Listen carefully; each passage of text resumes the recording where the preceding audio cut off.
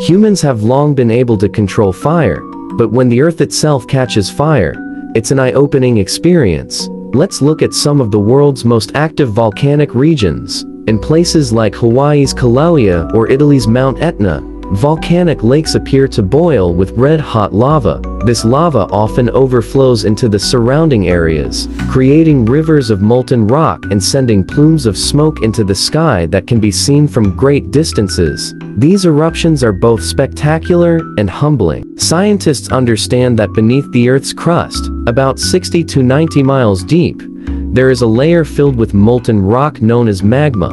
This magma, which contains dissolved gases, forms under extreme heat and pressure. When it breaks through the Earth's crust, it causes a volcanic eruption. The temperature of volcanic lava can reach between 1,300 and 2,200 degrees Fahrenheit. Each year, the volume of lava produced by volcanoes is 100,000 times greater than the world's annual rice harvest. As this lava cools, it solidifies into black volcanic rock, with its final shape influenced by how and where it cools.